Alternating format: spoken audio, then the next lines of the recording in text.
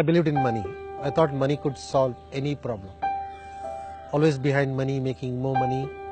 And with all bad lifestyles, I started falling down. I made few mistakes financially and more mistakes and it just made me topple. I lost everything. I lost my family, I lost friends, I lost all the assets, I lost the money. I was on the streets. I was so totally helpless.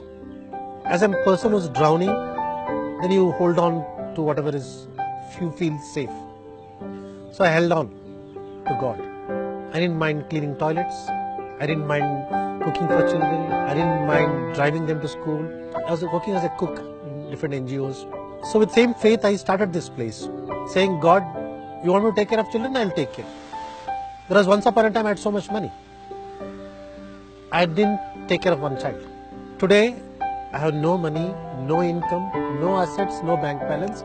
I'm taking care of 15 children. That itself is amazing. About 5,000 migrant workers come to Bangalore every day.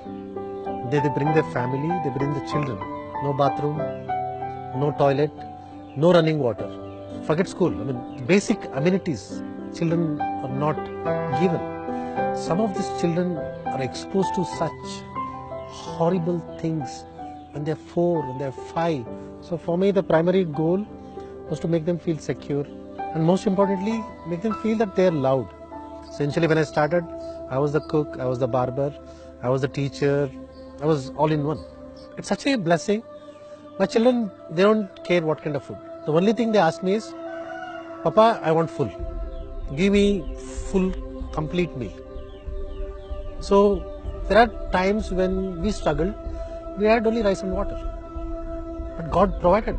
It's been three and a half years now. There's been no single time where kids have gone hungry. There's always something to eat.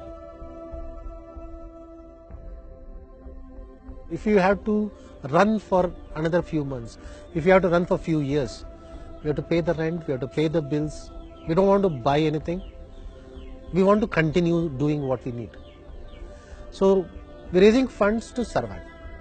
It's such a joy to take care of the children and see the results.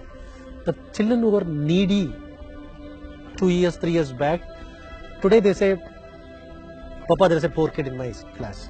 Can I give a book? Can I give a pencil? So just changing their hearts. That's been a wonderful journey.